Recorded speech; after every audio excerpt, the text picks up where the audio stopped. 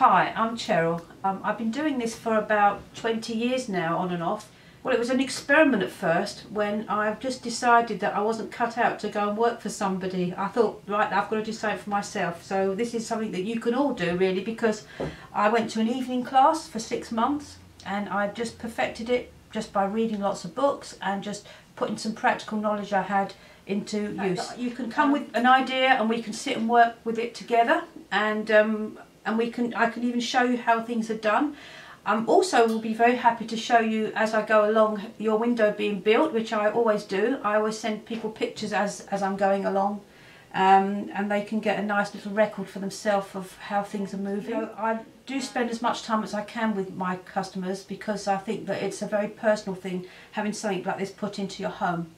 Um, I also make panels for people for gifts um, and they're usually one-offs. Um, I do them on the spare of the moment, bespoke made. This is something I'm doing for a, a client at the moment. Um, it's a traditional Edwardian style um, panel which I designed to complement the existing stuff they had in their door.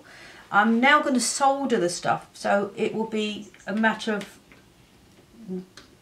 just making sure securing all the joints together which is what we do. So this takes a little while and uh, it's one of the processes um, after it's put together.